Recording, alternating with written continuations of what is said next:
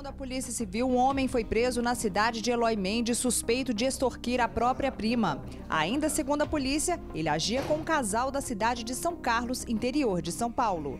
Nós estávamos na delegacia quando chegou a vítima principal lá, é, por volta das 10 da manhã, nos contando que estava sendo vítima de uma chantagem, né, no, no linguajar popular, na verdade de um crime de extorsão.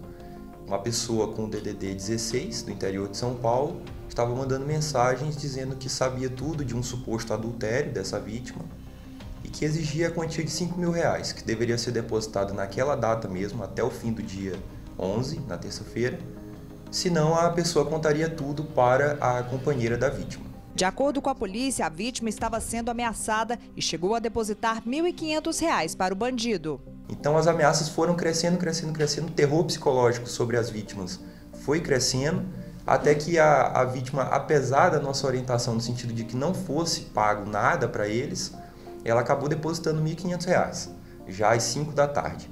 É, às 5 da tarde nós já estávamos já na, com um, alguns nomes né, em, é, conseguidos. Até que às 6 da tarde, pouco depois da vítima fazer o depósito, sem nos comunicar, nós conseguimos identificar que o, o autor em Eloy Mendes, que era um primo da vítima. A operação ganhou o nome de Primo Basílio, referência ao clássico da literatura. Por conta de, de, E a história principal do livro ser a história de uma extorsão com um suposto adultério. A família demonstrou profunda surpresa de saber que era uma pessoa assim tão próxima a eles. É, inclusive a, a menina que foi ameaçada assim estava aterrorizada.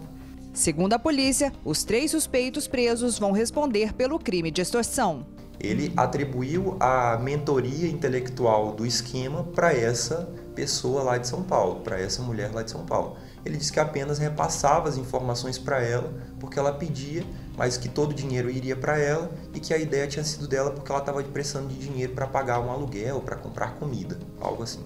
As penas variam de 12 a 30 anos de prisão.